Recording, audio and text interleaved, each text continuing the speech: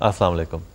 Lecture number 36 शुरू करते हैं आज और इसमें मज़ीद डेवलप करते हैं इंटीग्रेशन के कॉन्सेप्ट को आइडिया को in terms of application to real life problems basically इस लेक्चर में भी कॉन्सेप्ट कुछ यही है कि uh, एक रियल लाइफ प्रॉब्लम है उसको रियल लाइफ से मुराद के फ़िज़िक्स की प्रॉब्लम शायद हो या रियल लाइफ प्रॉब्लम हो तो उसको सॉल्व करने के लिए या उसको कुछ एनालाइज करने के लिए इंटीग्रेशन या डेफिनेट इंटेग्रल जो है, उसको इस्तेमाल किया जाएगा, उसके कॉन्सेप्ट को अप्लाई करेंगे और फिर देखेंगे कि जी उसको प्रॉब्लम का आंसर मिलता है कि या उसका सोल्यूशन निकाल सकते हैं कि नहीं।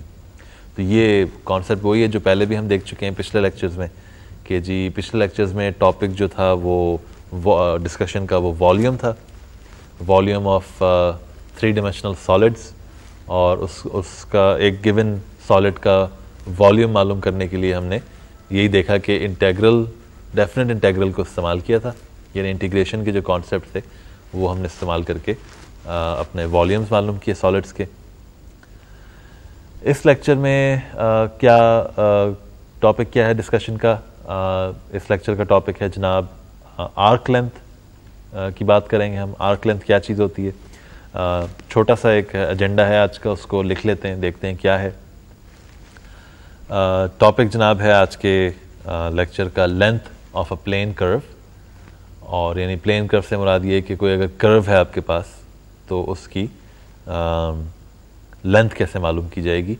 और जो मेन टॉपिक होगा इस लेक्चर का, वो है आर्क लेंथ तो ये आर्क लेंथ बेसिकली क्या चीज़ होती है? इसके बारे में हम बातचीत करेंगे आज। तो इसमें यही है कि जी लेंथ की जब बात होती है तो उसको हम पहले तो ये देखेंगे कि लेंथ का क्या मतलब है। यहाँ पे अब हम बिल्कुल शुरू शुरू के कुछ लेक्चर्स थे, उसमें हमने डिस्कशन की थी लेंथ की। वो थोड़ा सा रिव्यू कर लेंगे। रिव्यू से मुराद है कि वही अंडर डिस्कशन कंटिन्यूसली जब हम करेंगे तो उसको भी देखेंगे शुरू के जो कॉन्सेप्ट हैं लेंथ के और फिर उसको डेवलप करेंगे इन आर्क लेंथ वो डिस्कशन करेंगे कि वो क्या चीज़ होती है। और उसमें यही बात होगी कि जो आर्क लेंथ को हम मालूम करेंगे, उसको मालूम करने के लिए भी कॉन्सेप्ट वही होगा कि डेफिनेट इंटेग्रल या इंटीग्रेशन का जो कॉन्सेप्ट है, उसको हम अप्लाई करेंगे और हमारा सोल्यूशन आ जाएगा हमारे पास। तो इस लेक्चर को शुरू करने से पहले मैं एक छोटी सी एग्जांपल करना चाहूँगा जो बेसिकली पिछले, जो इमीडिएटली पिछला लेक्चर था लेक्चर नंबर 35 उससे कॉरस्पॉन्ड करती है। और उसमें यह है कि बेसिकली एग्जांपल ये है कि जो हमने पिछले लेक्चर में जो डिस्कशन की थी सिलेंड्रिकल शेल्स को इस्तेमाल किया था फॉर फाइंडिंग वॉल्यूम्स तो कुछ वक्त की कमी की वजह से मैं एक एग्ज़ाम्पल नहीं कर पाया था एक प्रॉपर किस्म की थियोरेटिकल डिस्कशन हमने की थी एग्ज़ाम्पल थियोरेटिकल लेवल पे हमने देखी थी एक लेकिन प्रॉपर एक अप्लाइड प्रॉब्लम मैं नहीं कर सका था तो वो मैं आ, पहले करूँगा। और उसके बाद फिर हम आज के लेक्चर की डिस्कशन जो मेजर है, उसको स्टार्ट करेंगे। तो आए सबसे पहले ये करते हैं कि वो एग्ज़ाम्पल एक कर लेते हैं, जो बेसिकली कॉरस्पॉन्ड करती है पिछले लेक्चर से। और आइडिया इस एग्ज़ाम्पल का ये है कि हम वॉल्यूम मालूम करना चाहेंगे एक सॉलिड ऑफ़ रेवोल्यूशन का यूजिंग सिलेंड्रिकल शेल्स तो यहाँ पे अब इससे पहले कि एग्ज़ाम्पल करें, आपको होपफुली याद होगा इमीडिएटली पिछला लेक्चर है कि सिलेंड्रिकल शेल्स का क्या आइडिया था जो हमने डिस्कस किया था और उनको इस्तेमाल करके हम वॉल्यूम कैसे मालूम कर सकते हैं किसी एक सॉलिड का। तो अब जो हम अब सॉलिड देखेंगे, बल्कि पर्टिकुलर सॉलिड जो हम, जिनमें इंटरेस्टेड थे, वो थे सॉलिड्स ऑफ़ रेवोल्यूशन यानी ऐसे सॉलिड्स जो आप, अगर कोई रीजन आपके पास है टू डिमेंशनल दिया हुआ है, उसको अगर आप किसी एक एक्सिस के आसपास रिवॉल्व करते हैं तो जो रिजल्टिंग सॉलिड आता है उसका वॉल्यूम हम मालूम करना चाहेंगे।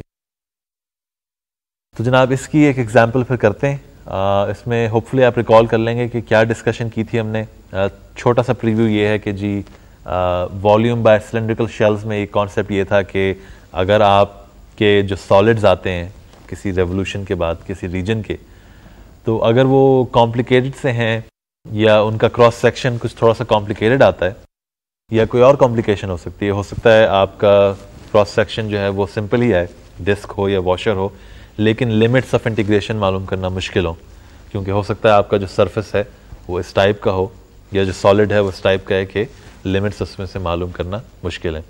तो तब हम सिलेंड्रिकल शेल्स को इस्तेमाल कर सकते हैं और हमारी कैलकुलेशंस काफ़ी आसान हो जाती हैं।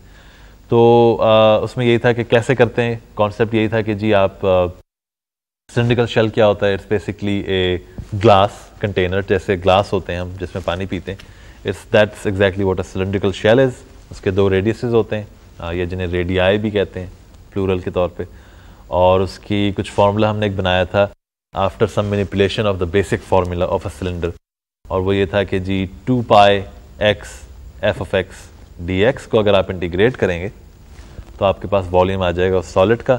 और ये formula two pi x f of x delta x अगर आप इंटीग्रल हटा दें तो आ, वो बेसिकली कॉरस्पॉन्ड करता था थिकनेस ऑफ़ द शेल उसकी average radius times the height times two pi अच्छा इसमें हमने ये भी देखा था कि ये जो सिलेंड्रिकल शेल्स का जो फार्मूला था ये प्रोसेस था इसको एक और नुक़ नज़र से भी हम देख सकते थे।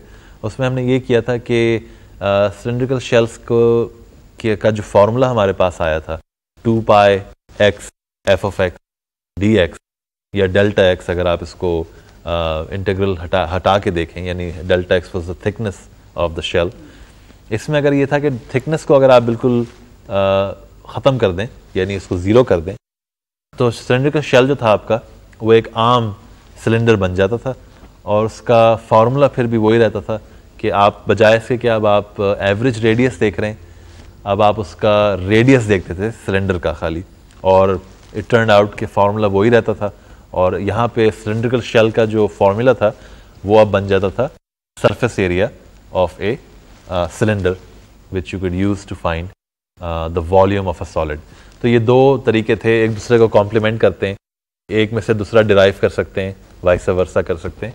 तो एक ही कॉन्सेप्ट था बेसिकली लेकिन uh, थोड़ा सा डिफरेंट पॉइंट ऑफ़ व्यू था। तो अब ये सारे जो कॉन्सेप्ट थे, हमने पिछले लेक्चर में देखे थे, और कोई चूँकि कॉन्क्रीट एग्ज़ाम्पल नहीं की थी तो वो मैं यहाँ पे करना चाहूँगा इस लेक्चर में, और इस एग्ज़ाम्पल को करने के बाद फिर हम इस इमीडिएट जो आज का लेक्चर है, उसके टॉपिक जो हैं, उसके बारे में डिस्कशन कर लेंगे। तो हाँ एग्ज़ाम्पल देखते हैं कि क्या है।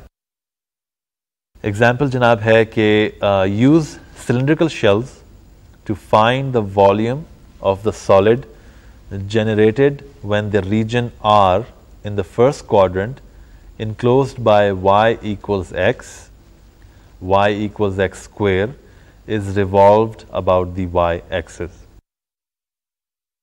तो जनाब ये आपका सवाल है यानी यहाँ पे एक रीजन दिया हुआ है आपको जो कि टू डिमेंशनल है इसको अब आप वाई एक्सिस के आसपास घुमाएँगे तो एक सॉलिड बनेगा जिसको आपको जिसका वॉल्यूम आपको मालूम करना है तो ये देख लेते हैं तस्वीर बना के कि सॉलिड क्या है।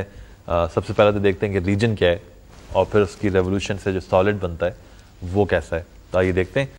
सॉलिड ये जो रीजन है ये आपके सामने है। फ़र्स्ट क्वाड्रेंट में कन्फाइंड है by the functions x and x square note करें कि इंटरवल जो यहाँ पे दिया हुआ है वो डिटर्मिन होता है by the intersection of the two functions x and x square तो जो इंटरवल आपके पास आता है वो है ज़ीरो टू वन लिहाजा आपका जो रीजन है वो डिफाइंड है इंटरवल पे ज़ीरो से लेके वन तक, और इसका जो टॉप अपर बाउंड्री है वो है function y equals x lower boundary जो है वो है वाई इक्वल्स एक्स स्क्वेयर तो अब इसको अगर आप रोटेट करेंगे वाई एक्सिस के अराउंड तो आपके पास एक सॉलिड आ जाएगा, ये आपके सामने है and this is a solid that looks like a bowl with a cone shaped interior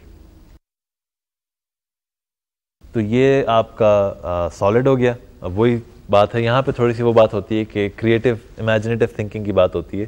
थोड़ा सा सोचना होता है कि हर चीज़ जो हम कर रहे हैं वो फ्लैट स्क्रीन पे हो रही है टू डायमेंशन से तो थोड़ा सा क्रिएटिव थिंकिंग करनी होती है कि जो आपने रीजन आपने रोटेट किया तो जो शेप आई है वो बेसिकली एक बोल तो है, प्याला है, लेकिन ऐसा प्याला है जो बाहर से प्याला लगता है।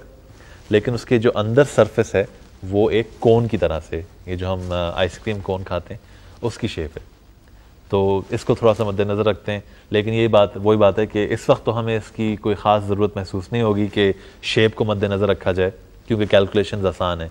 लेकिन आगे चल के जब मल्टी वेरिएट कैलकुलस हम करेंगे, जिसमें डबल इंटेग्रल्स ट्रिपल इंटेग्रल्स होंगे, और वो कॉन्सेप्ट यही होगा कि वॉल्यूम और सरफेस एरिया वगैरह मालूम करेंगे तो उसमें कई बार ऐसा होता है कि जो पिक्चर बन रही होती है, उसकी इमेज को जहन में रखना पड़ता है और वो सारा असल चैलेंज होता है।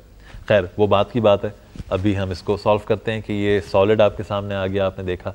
अब सवाल ये है कि इसका वॉल्यूम कैसे मालूम करें? तो आइए वॉल्यूम वॉल्यूम मालूम करते हैं सॉलिड का। सॉलिड का वॉल्यूम सिलेंड्रिकल शेल्स से मालूम करते हैं। ट्राई करके देखें, कोशिश आप इसको डिस्क से करने की या वॉशर से। तो आ, शायद ये ना हो सके इतनी आसानी से। अगेन एक्सरसाइज के तौर पे आप देखें कोशिश करें कि क्रॉस सेक्शन लें सॉलिड सॉलिड का। क्रॉस सेक्शन को देखें कि वो किस शेप का है। अगर वॉशर है तो आराम से हो जाएगा डिस्क है तो और, और भी आसानी से हो जाएगी कैलकुलेशन आपकी। लेकिन अगर कोई और डिफरेंट टाइप का रीजन बनता है या कोई एरिया बनता है या कोई टू डायमेंशनल रीजन बनता है तो फिर कैलकुलेशन काफ़ी मुश्किल हो जाएँगी क्योंकि आपको बेसिक आइडिया यही है कि इसका हमें एरिया कैसे मालूम करेंगे। रीजन का क्रॉस सेक्शन के। खैर, हम सिलेंड्रिकल शेल्स इस्तेमाल करते हैं तो आए देखते हैं कैलकुलेशंस क्या बनती हैं। इसमें देखें कि सिंपल सी कैलकुलेशन है। सबसे पहले तो फार्मूला जो है वो वॉल्यूम का है integral from zero to one two pi x times the height of the solid times d x तो हाइट क्या होगी यहाँ पे? हाइट जो है वो थोड़ी सी यहाँ पे ट्रिकी है क्योंकि हमने कहा था f of x is the height of the function जब हमने एफ़ ऑफ़ एक्स कहा था तो हम कंसिडर कर रहे थे एक ऐसा सॉलिड जिसमें जो कन्फाइनमेंट थी सिर्फ़ एक फ़ंक्शन से हुई थी और बॉटम पे जो था, वो आपके पास एक्स एक्सिस था जिसने कन्फाइन किया हुआ था आपके रीजन को। यहाँ पे दो फ़ंक्शंस ने कन्फाइन किया हुआ है तो जो हाइट होगी वो डिफाइन होगी by the difference of these two functions यानी जो बड़ा फ़ंक्शन है, उसमें से सब्ट्रैक्ट कर दें छोटे फ़ंक्शन को लोअर फ़ंक्शन को तो आपके पास, आपकी हाइट आ जाएगी सॉलिड की। तो बेसिकली कहने का मकसद ये कि अगर पहला फ़ंक्शन था f of x equals x दूसरा फ़ंक्शन है g of x equals x square तो आपकी जो सॉलिड की हाइट है, वो है f of x minus g of x which is the same thing as saying x minus x square तो ये आपकी हाइट बनेगी तो इसको लिख लेते हैं। ये जनाब आपका फॉर्मूला बन जाता है two pi x times x minus x square ये आपकी हो गई आ, ये वो फार्मूला हो गया जिसको आप इंटीग्रेट करेंगे to get your volume of this solid तो कैलकुलेशन कंटिन्यू करते हैं। अब देखें कि ये जो इंटीग्रल होगा ये ज़ीरो से वन तक होगा। वॉल्यूम अगर मालूम करना है और इसमें आप इंटीग्रेट कर रहे हैं two pi times x times x minus x square d x को तो कैलकुलेशन जो होगी वो होगी this will equal to 2 pi times the integral of integral from 0 to 1 of x square minus x cube dx क्योंकि मैंने x को distribute कर दिया across the term in the bracket in the um, parentheses uh, now we get 2 pi uh, times the evaluation of the difference of these two functions x cubed divided by 3 minus x4 to divided by 4 at the endpoints 0 and 1. And when we, when we do this and simplify the expression, we get pi over 6. तो ये आपका जनाब हो गया volume of this solid that we were looking at तो pi over six जो है is the volume यानी कहने का मकसद ये है कि पाई ओवर सिक्स अमाउंट यानी यूनिट्स पे आप कुछ भी लगा सकते हैं यानी इसमें pi over six centimetre cube हो सकता है, या एक्चुअल सेंटीमीटर क्यूब तो नहीं होगा, क्योंकि कंटेनमेंट की एक सॉलिड है, इसके अंदर एक कुछ कंटेन किया जा रहा है तो वो पाई ओवर सिक्स यूनिट्स है। यूनिट्स कुछ भी हो सकते हैं doesn't matter depending on the physical situation it could be anything लेकिन abstractly generally speaking pi over six many units of volume can be या pi over six units can represent this volume तो ये एक example थी of cylindrical shells जो मैंने पिछले lecture में नहीं की थी, इस दफ़ा कर लिए। तो होपफुली इससे थोड़ी सी क्लैरिफाई हो गए होंगे कुछ कॉन्सेप्ट जो सिंडिकल शेल्स के बारे में थे। तो अगर मज़ीद कोई सवाल हो तो ऑफ़ आप लोग कंटिन्यू कर सकते हैं पूछ सकते हैं देखेंगे कुछ जवाब वगैरह दे के और कुछ ना कुछ हो जाएगा। अच्छा जी तो अब अब इसको यहाँ पे ख़त्म करते हैं वॉल्यूम्स को सिलेंड्रिकल शेल्स के टॉपिक को। और जो आज का मेन टॉपिक है, उसकी बात शुरू करते हैं। तो आज का मेन टॉपिक एक ही है बेसिकली और वो है कि जी कर्व्स की लेंथ मालूम करना, और उसमें यानी कॉन्सेप्ट ये कि आर्क लेंथ मालूम करनी है। तो अब आर्क लेंथ की डिस्कशन शुरू करते हैं तो इसमें सबसे पहला सवाल तो ये है कि ये आर्क लेंथ क्या चीज़ होती है? उससे पहले तो ये कि लेंथ क्या होता है। तो लेंथ के बारे में मैंने जैसे कहा था कि ये बेसिकली वो कॉन्सेप्ट है जो हमने काफ़ी पहले, बिल्कुल शुरू शुरू के जो लेक्चर्स थे, उसमें थोड़ी सी बात की थी। डिस्टेंस के बारे में बात की थी तो लेंथ भी एक तरह का डिस्टेंस ही होता है। यानी मकसद ये कहने का कि अगर एक आपको मैं देता हूँ, एक लाइन बना के देता हूँ in the x y plane और मैं कहता हूँ कि जी, इसका आप, इसकी लाइन की लेंथ मालूम करके बताएँ। तो मेरे ख्याल से आप कहेंगे कि जी लेंथ जो है वो डिस्टेंस के बराबर है between the end points of this line यानी लाइन के जो एंड पॉइंट्स हैं, अगर वो मैं आपको बता देता हूँ तो आप डिस्टेंस मालूम कर लेंगे बिटवीन दोज टू पॉइंट्स और वो डिस्टेंस जो होगा it will still basically represent the length of that line तो ये तो बेसिक सा कॉन्सेप्ट हो गया जो हम पहले देख चुके हैं कि ठीक है, एक स्ट्रेट लाइन अगर दी हो तो उसकी लेंथ मालूम की जा सकती है यूजिंग एनालिटिक जियोमेट्री यानी बेसिक से हमने आइडियाज़ डेवलप किए थे काफ़ी पहले। वो हम इस्तेमाल कर सकते हैं। तो अब आर्क लेंथ क्या चीज़ होती है? तो आर्क लेंथ जो है आ, ये बेसिकली लेंथ होती है ऐसे लाइंस की जो स्ट्रेट नहीं होती। तो अब आप कहेंगे कि जी ये कौन सी लाइंस होती हैं जो स्ट्रेट नहीं होती? क्योंकि लाइन तो इंटुटिवली हम सब समझते हैं कि स्ट्रेट होनी चाहिए। तो इसमें इसका जवाब ये है कि जी मैथमेटिक्स में लाइन जो होती है स्ट्रेट लाइन वो स्पेशल केस होता है एक जनरल लाइन का। जो कि कर्व्ड हो सकती है। तो ये जो ये एक जनरल लाइन होती है बेसिकली अगर आप ये जो कर्व हमने कहा कि एक कर्व है जिसके अंदर सारे स्मूथ स्मूथ सा है ऐसे ऐसे करके, ये एक जनरल फॉर्म है लाइन की। इसका स्पेशल केस होगा, अगर आप इसको स्ट्रेट कर दें तो एक स्टैंडर्ड जो हम कहते हैं आमतौर पे जिसे हम समझते हैं लाइन स्ट्रेट लाइन वो बन जाती है तो कर्व जो होते हैं वो लाइंस ही होती हैं, लेकिन जनरल टाइप की। तो अब मकसद कहने का ये कि अगर कर्व है हमारे पास, अब हम इसको कर्व कहेंगे तो इसकी लेंथ कैसे मालूम की जाए? तो इसमें ऐसा करते हैं कि अभी तक जो बातें की हैं, इसको थोड़ा सा लिख लेते हैं, थोड़ा सा फॉर्मलाइज हो जाएगा। देखते हैं क्या बातें हैं अभी तक जो टॉपिक्स डिस्कस किए हैं। इसमें यह है कि basically the idea is that we want to develop ways of finding the length of curves और lines that twist and turn the curves we will look at will be graphs of functions तो कोई नई बात नहीं है ज़ाहिर है curve ऐसे देखेंगे जो फ़ंक्शंस uh, जिनको डिफाइन करेंगे जो ग्राफ्स होंगे किसी फ़ंक्शन के। uh, अब इसमें जब हम कह रहे हैं कि हम ग्राफ्स देखेंगे फ़ंक्शंस uh, के तो कुछ डिटेल्स ये हैं कि the function we will look at will be such that the derivative of the function will be continuous on a given interval. So we're not so much concerned with the uh, the you know the original graph uh, the original function f but rather the derivative of that function f prime uh, a function that is that has this property that f prime is continuous on a given interval, we will call that a smooth function and the graph of such a function we will call smooth curve. तो ये जनाब हमारी बातें हो गई। इसमें यह है कि अब ये थोड़ी सी हमने टेक्निकल बातें लिख ली तो अच्छा हो गया। कॉन्सेप्ट ये है कि जो कर्व्स हम देखेंगे, जिनकी हम लेंथ मालूम करना चाहेंगे, वो डिफाइन होंगे they will be defined by some functions and the functions will be smooth functions and the graphs of such functions will be what are called smooth curves so we are basically looking at smooth curves और smooth की से मुराद ये कि इंटुटिवली तो ज़ाहिर सी बात है कि स्मूथ का मतलब ये कि साफ़ सुथरा किस ऐसी कोई चीज़ जिस पे कोई शिकन नहीं पड़ी।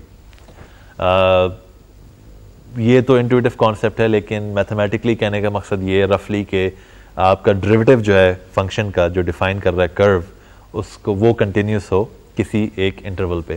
तो आ, अगर इसको डिटेल में देखें इस मैथमेटिकल डेफिनेशन को तो ये रियली ये वही बात है जो हमने की कि कोई ऐसा सरफेस या कोई ऐसा कर्व देखेंगे जिसमें कोई शिकन ना हो। खैर रफ सी बात की है, लेकिन आइडिया ये है बेसिकली अच्छा तो अब जो आर्क लेंथ प्रॉब्लम है बेसिकली इसको स्टेट कर देते हैं फॉर्मली और देखते हैं कि जिसको पूरी तरह स्टेट करने के बाद हम इसमें थोड़ा सा स्टेटमेंट सही होगा कि मैथमेटिक्स आ जाएगी ताकि हम मैथमेटिकली इसको रिजॉल्व कर सकें। तो आइए इसको लिख लेते हैं और एक फिगर भी बना लेंगे।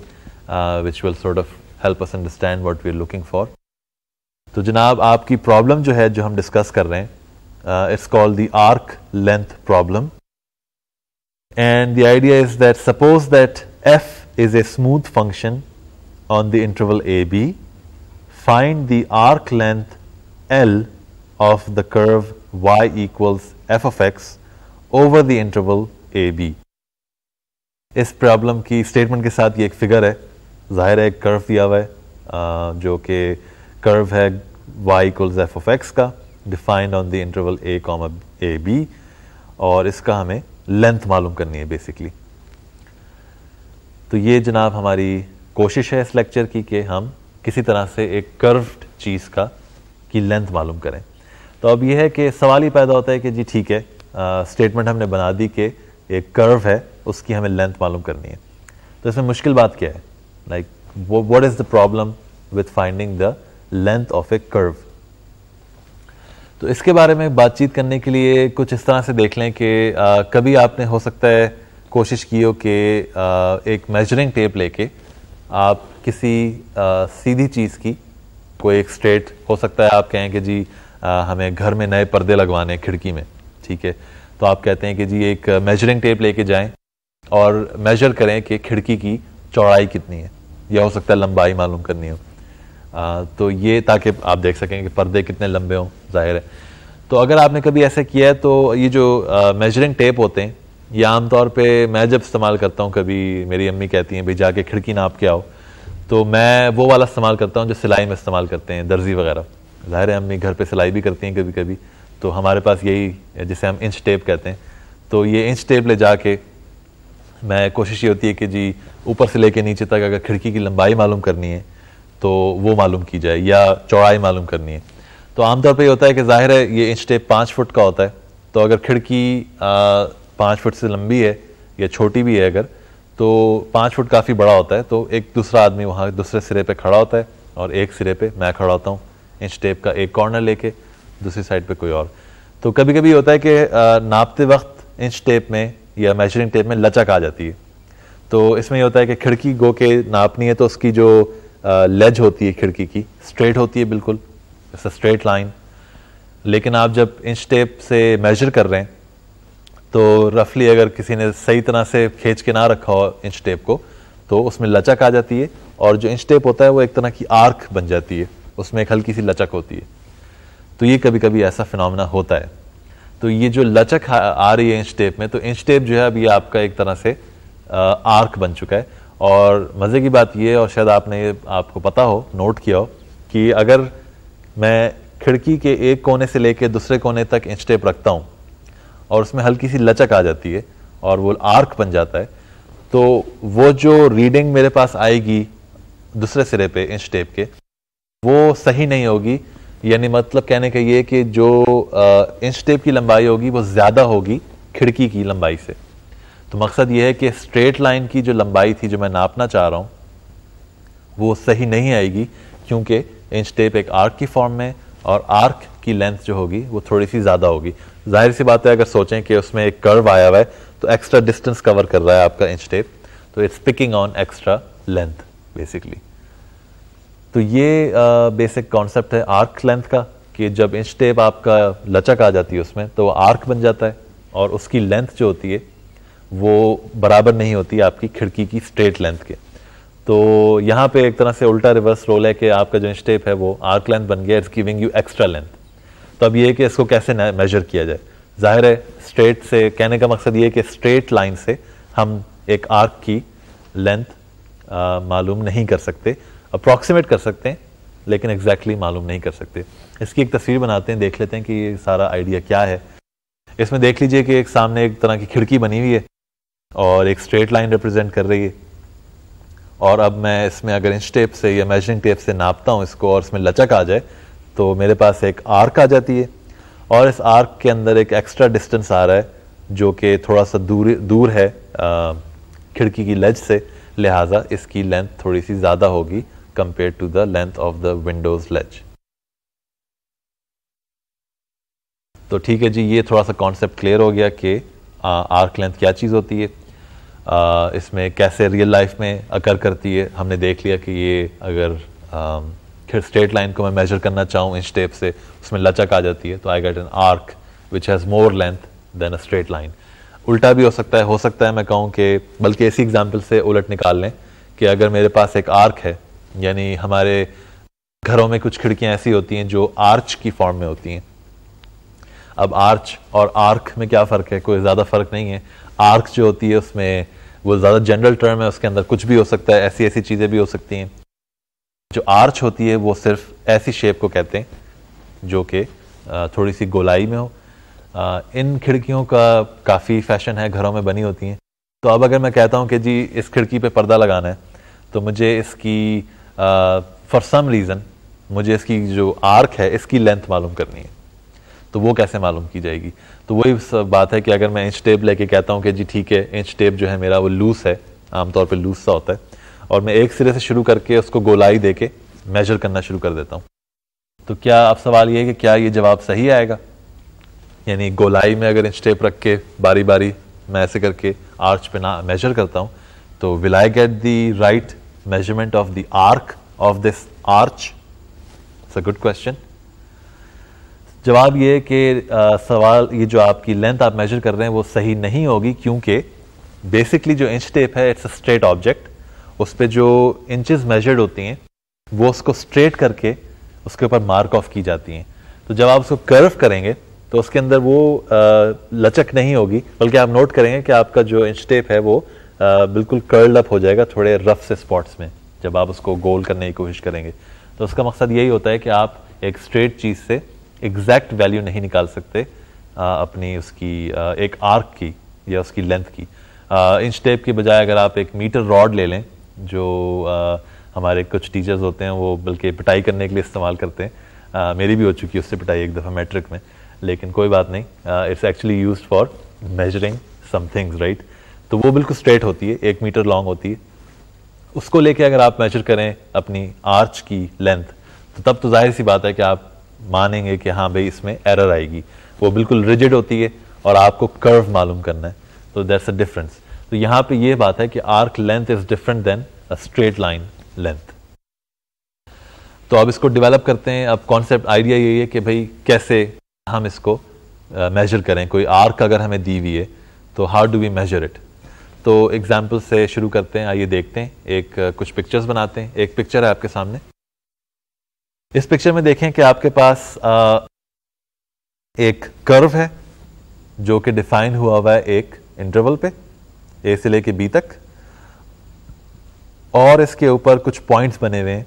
P zero P one P two all the way to P n तो अब करना यह है कि जी, ये जो पॉइंट्स हैं पी ज़ीरो से लेके पी एन तक, ये तो पॉइंट्स हो गए।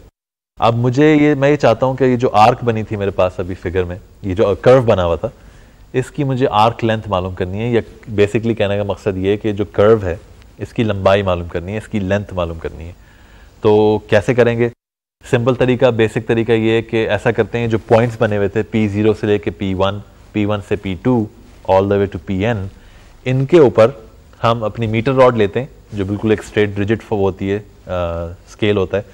पी ऐसी लेते हैं बल्कि मीटर रॉड के छोड़ें, ऐसे करते हैं कि ऐसी रॉड लेते हैं जो एग्जैक्टली पी ज़ीरो से लेके पी वन तक फिट हो जाए। फिर एक और रॉड लेते हैं जो पी वन से लेके पी टू तक फिट हो जाए। और इसी तरह करके all the way to P n minus one से लेके पी एन तक एक रॉड फिट हो जाए। अब वही बात है कि इनकी डिफरेंट लेंथ होगी इन रॉड्स की, क्योंकि ये जो पी वन पी टू वगैरह पॉइंट्स हैं ये कर्व के ऊपर डिफाइंड है। इनके कॉरस्पॉन्डिंग एक्स एक्सिस पे कुछ पॉइंट्स हैं। एक्स ज़ीरो वो जो कि ए होगा, से लेकर x one x two all the way to x n तो ये कॉरस्पॉन्ड करेंगे अपने points P zero P one P two respectively और इस तरह से बेसिकली हमने ये किया है कि जो मीटर रॉड्स बनाई थी these are actually approximation of pieces of the curve तो यानी एक गिवन इंटरवल पे हम अप्रोक्सीमेट कर लेते हैं length of the curve by straight line तो अब इसमें प्रॉब्लम ये होगी जब मैं इन स्ट्रेट लाइन से या मीटर रॉड्स कह लें, या मीटर रॉड नहीं बल्कि मेजरिंग रॉड्स इनसे जब मैं मेजर करूँगा अपनी चंक्स ऑफ़ द कर्व इसमें प्रॉब्लम ये होगी, वही प्रॉब्लम होगी जो अभी थोड़ी देर पहले मैंने कहा था कि अगर एक आर्च है, उसका आप एक मीटर रॉड से मेजर करें तो एक एक्स्ट्रा उसके अंदर एरर आती है, वो एरर ये होती है कि स्ट्रेट लाइन जो है, वो थोड़ी सी डिस्टेंस को मिस कर रही है, जो कर्व हुआ हुआ है। तो वो अप्रॉक्सीमेशन तो अच्छी हो सकती है, यानी मकसद ये कहने का कि अगर आपका ये जो चंक था पी ज़ीरो से लेके पी वन तक, मिसाल के तौर पे, ये अगर बहुत छोटा होता तो इसमें एक छोटी सी रॉड से मैं इसको अप्रॉक्सीमेट करता, और जितना छोटा ये वो होता चंक उतनी अच्छी अप्रॉक्सीमेशन आती, क्योंकि जो कर्वेचर होता, वो कम होता जाता और जो स्ट्रेट रॉड है और जो कर्व है वो बिल्कुल करीब करीब होते जाते। तो एरर कम हो जाती। जितना बड़ा चंक होगा उसमें उतने ज़्यादा कर्वेचर होगा और उतनी ज़्यादा डिफरेंस आएगा between the straight line and the curve basically तो ये जो अभी तक हमने डिस्कशन की है इसकी uh, तस्वीर हमने अभी बनाई थी। अब एक फुल फ्लैश की तस्वीर बना लेते हैं जिसमें सब कुछ इन्फॉर्मेशन है इंटरवल वगैरह। आइए देखते हैं। Uh, देख लीजिए कि इस पिक्चर में हमारे पास कर्व है, एक इंटरवल है ए से लेके बी तक, और इस इंटरवल की सब डिविजन हैं एक्स वन से लेके एक्स एन माइनस वन तक, जो कॉरस्पॉन्ड कर रही हैं to the points P zero से लेकर पी एन तक। तो ये पिक्चर हो गई। अब इसका ये करना है जनाब हमें कि समहाउ इस आइडिया को हम अभी देख चुके हैं, बल्कि मैं कह भी चुका हूँ और आपको भी क्लियर हो गया होगा कि जो लाइंस हमने बनाई हैं joining the points P one से लेके पी टू तक मिसाल के तौर पे ये बेसिकली अप्रॉक्सीमेट कर रही हैं आपके कर्व को। तो अब हम ये करते हैं कि uh, इनको वही कॉन्सेप्ट है जो पहले भी कर चुके हैं कि अगर इनको बहुत सारा uh, बहुत सारे छोटे छोटे पॉइंट्स लें तो हमारे पास ज़्यादा बेहतर और बेहतर अप्रॉक्सीमेशन आएगी। और जितनी बेहतर अप्रॉक्सीमेशन होगी तो हमारा जो कर्व की लेंथ है वो हमारे पास उसकी बेहतर अप्रॉक्सीमेशन आएगी। और अगर हम लिमिट लें तो then we are basically done हमारे पास अपना जवाब आ जाएगा इंटेग्रल की फॉर्म में। ये हम पहले देख चुके हैं। अच्छा जी तो अब हमें अंदाज़ा हो गया है कि अब आ, किस तरह से हमें प्रोसीड करना चाहिए in terms of exactly doing the calculation and the analysis जिसके ज़रिए हम ये कुछ इक्वेशंस लिख सकेंगे for finding the arc length of a given curve using those approximations approximating straight lines over subintervals of the interval a b ठीक है जी तो अब इसको एनालाइज करते हैं। इसमें यह है कि किस तरह से करते हैं, जैसे पहले भी हम देख चुके हैं कि जहाँ पे हमने स्लाइसिंग की थी या रीजन्स की बात की थी तो आइडिया ये था कि एक पर्टिकुलर पर्टिकुलर नहीं बल्कि आर्बिट्ररी रीजन या स्लाइस हमने चूज़ किया था केथ वैल्यू पे। और उसके बाद उसको एनालाइज करके उसका एक फार्मूला लिखा था। उस फार्मूले को हमने फिर जनरलाइज किया था इस तरह से कि जनरलाइज तो नहीं किया था, बल्कि उस फार्मूले का हमने सम लिया था ओवर के वैल्यूज़ यानी केज की जो वैल्यू थी वो वन से लेके एन तक गई थी, उसका हमने सम लिया और फिर उस सम का हमने लिमिट लिया as the maximum with one to zero और उसके बाद हमारे पास इंटेग्रल आ गया था और जवाब आ गया था exact for whatever we were trying to find in this case we are trying to find the arc length तो we'll proceed in a similar way तो अब ये करते हैं कि हमने जो ये लाइन सेगमेंट्स की बात की है तो एक आर्बिट्री लाइन सेगमेंट चूज़ करते हैं. Let's call it L sub के एल के और इसका देखते हैं कोई फार्मूला लिख सकते हैं कि नहीं. तो आए इसको लोग देखते हैं इसको डिटेल में. इसमें नोट करें कि एल के या एल सब के का जो फार्मूला होगा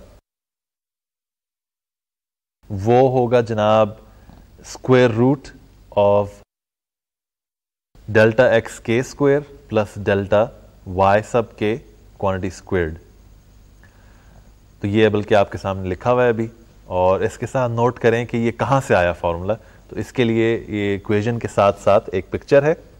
इसमें नोट कर लें, देख लीजिए कि यूजिंग बेसिक डिस्टेंस फार्मूला या एक तरह से पैथागरस थ्योरम कह लें, इस पिक्चर से ज़ाहिर है। वो इस्तेमाल करते हुए आपके पास एक स्टेटमेंट आई है एक इक्वेशन आई है for the length of the line L sub k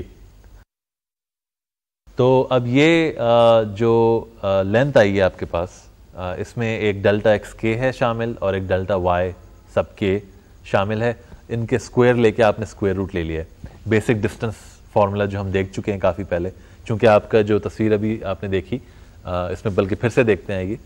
इस तस्वीर में नोट करें कि एक जो सेगमेंट जो इंटरवल है डेल्टा एक्स के जो कॉरस्पॉन्ड करता है लाइन सेगमेंट एल के से तो उसके एंड पॉइंट्स हैं एक्स के माइनस वन और एक्स के तो इनका इनसे कॉरस्पॉन्ड करता है डेल्टा एक्स के इनका जो वो है फास्ट लाइन के दरमियान, और इनके कॉरस्पॉन्डिंग इन एक्स पॉइंट्स के एक्स सब के माइनस वन और एक्स सब के के कॉरस्पॉन्ड करती हैं कुछ वाई वैल्यूज़ ये जो कि हम लिख सकते हैं as f of x k minus one and f of x k और ऑफ़ कोर्स इनका डिफरेंस जो होगा, वो हम डेजिग्नेट कर सकते हैं as the difference in y values which is y we are using delta y sub k और इनका आप देख सकते हैं पथाग्रस थ्योरम से कि स्टेटमेंट आती है एल सब के की, जो वैल्यू आती है, जो इक्वेशन आती है, वो आपके सामने है।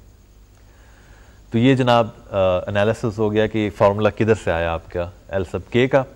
अब इसमें यह है कि कुछ मैनिपुलेशन और करते हैं और देखते हैं कि अब मज़ीद क्या कर सकते हैं इसके साथ। इसमें फ़ंक्शंस की हम जब भी बात करते हैं तो जैसे मैंने बहुत दफ़ा कहा है कि हर चीज़ एक्स में होनी चाहिए। Everything should be a function of x यहाँ पे वाई डेल्टा वाई सब के में एक वाई आया हुआ है। इसको हमें हटाना है यहाँ से। तो इसके लिए सिंपल सी बात है कि डेल्टा वाई सब के की मैंने एक्सप्रेशन लिखी थी अभी। हमने देखी थोड़ी देर पहले कि वो है in terms of the function f of x इसकी जो वैल्यू है वो है बराबर एफ़ ऑफ़ एक्स सब के minus f of x sub के माइनस वन के तो वो अगर सब्सिट्यूट कर दें इस फॉर्मूला में जो हमने लिखा था तो हमारे पास क्या रिज़ल्ट आता है इसको देख लेते हैं। देखिए कि it's obvious that with delta y sub k equals that value we can now write L sub k as the square root of delta x sub k quantity squared plus f of x k minus f of x k minus 1 the whole quantity squared. अब हम क्या कर सकते हैं अब हम यहाँ पे एक बड़ा मशहूर और बहुत अच्छी तरह से देखा हुआ थ्योरम जो हमने कुछ अर्से पहले देखा था वो कौन सा था वो आपको याद होगा मीन वैल्यू थ्योरम तो ये हमने बड़ी डिटेल में देखा था इसकी बड़ी इंटरेस्टिंग बातें की थी हमने। वो हम यहाँ पे अप्लाई कर सकते हैं। और हम कैसे अप्लाई करेंगे यहाँ पे?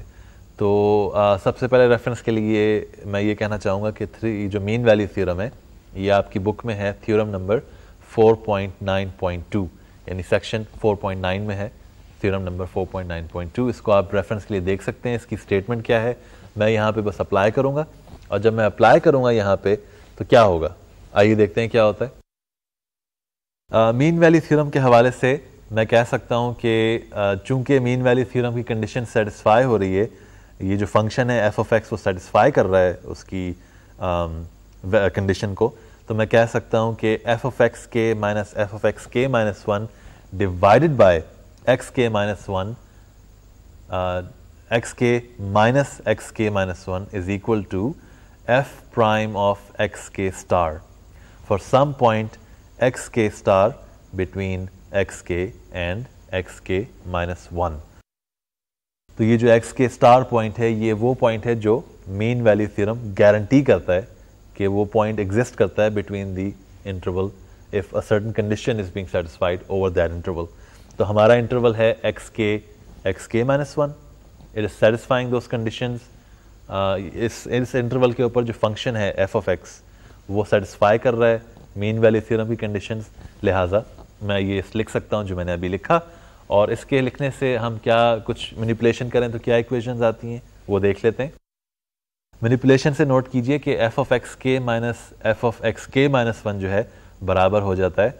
F prime of x k star times x k minus x k minus one लेकिन ये जो है x k minus x k minus one बराबर है डेल्टा एक्स के तो मैं लिख सकता हूँ f prime x k star times delta x k तो अब ये इक्वेशन जो अब आई है इसको अगर मैं इस्तेमाल करके अपनी जो एल सब के जो केथ लाइन थी लाइन सेगमेंट उसके लिए कुछ उसके अंदर इसको सब्सिट्यूट करूँ अगर तो कुछ इक्वेशंस आ जाएँगी जिसमें वाई नहीं होगा बल्कि सब कुछ एफ़ की एफ़ ऑफ़ एक्स और एक्स की टर्म्स में होगा। तो देख लेते हैं क्या होता है। Uh, अब इस uh, मैं लिख सकता हूँ जो मेरे पास स्टेटमेंट थी एल सब के की। I can now write it as the square root of delta x sub k quantity squared plus f prime of x k star quantity squared times delta x sub k quantity squared कुछ factor factorization और simplification करूँगा अगर मैं। बहुत basic सी है, आप लोग खुद कर सकते हैं। तो मेरे पास रिज़ल्ट आएगा L sub k equals square root of one plus f prime of x k star quantity squared times delta x k तो ये हो गया जनाब आपका formula for the kth line segment यानी आर्बिट्री कोई लाइन सेगमेंट आप लेते हैं तो उसका ये फार्मूला आता है in terms of the derivative of the function that is defining the curve and square root तो अब ये है कि अगर मैं इस ये चूँकि आर्बिट्री लाइन सेगमेंट का है अगर मैं आ, पूरे इंटरवल ए से लेके बी तक के ऊपर अगर मैं ये लाइन सेगमेंट्स जो डिफाइंड है in terms of sub intervals अगर मैं इनका समेशन ले लूँ सम कर लूँ तो मेरे पास पूरी जो आर्क थी, उसकी जो अप्रॉक्सीमेशन है, वो पूरी आर्क की अप्रॉक्सीमेशन आ जाएगी over the whole interval A to B तो ये क्या होगा, इसको देख लेते हैं। इसमें देखिए कि बेसिकली कहने का मकसद है कि summation from k equals one to n of l sub k equals the sum of course, from k equals 1 to n of the expression for L sub k, जो अभी हमने थोड़ी देर पहले देखी थी। तो अब ये करते हैं कि अब ये एक्सप्रेशन हमने समेशन लिख लिया, ये अप्रॉक्सीमेशन है for the whole arc length अब इसमें यही बात है कि अगर लिमिट हम लें as these line segments become very small कहने का मकसद यही है कि जो आपने एक्स एक्सिस पे जो इंटरवल्स बनाए थे, उनकी चौड़ाई अब अगर आप सबसे बड़े वाले की बिल्कुल छोटी कर दें ज़ीरो के बराबर, या उसके करीब करीब तो बाकी सब जो हैं वो भी बिल्कुल ज़ीरो के करीब आ जाएँगे। और आपकी जो लाइन सेगमेंट्स हैं वो अगर इतने बड़े थे तो वो छोटे होके बिल्कुल माइन्यूट हो जाएँगे। और मैंने जैसे पहले कहा था कि जितनी छोटा लाइन सेगमेंट होगा, जितना छोटा इंटरवल होगा, उतनी छोटी उस इंटरवल पे कर्वेचर होगा आपके कर्व का। और अगर कर्वेचर कम है तो आपका जो कर्व है और जो स्ट्रेट लाइन है, वो बिल्कुल करीब करीब रहेंगी और अप्रॉक्सीमेशन काफ़ी अच्छी आएगी। लेकिन वही बात है कि जब हम लिमिट लेते हैं तो we are saying that the result is exactly the same as the length of the arc so let's write that down अब यह है कि जी आर्क लेंथ जो है L of this curve is equal to the limit as the maximum delta x sub K goes to zero of the summation from k equals 1 to n of the expression for uh, an arbitrary line segment and of course this we know is just the integral from a to b of square root of 1 plus f prime of x quantity square dx. ठीक है जी तो ये हमारा derivation हो गई for the formula for the for finding the arc length of a curve इसको formally लिख लेते हैं थोड़ी देर के लिए। uh, देख लेते हैं कि ताकि फॉर्मूली हमें याद रहे। तो जनाब ये फार्मूला है आपके सामने। इसमें देख लीजिए कि हमने जो अभी तक बातें की हैं वो लिखी हुई हैं। इसमें दो फार्मूले दिए गए। एक जो है वो आ, उस केस में है जब आपके पास अगर आप कंसिडर कर रहे हैं the function as a function of x और इसमें एफ़ प्राइम की जगह d y over d x भी लिख सकते हैं।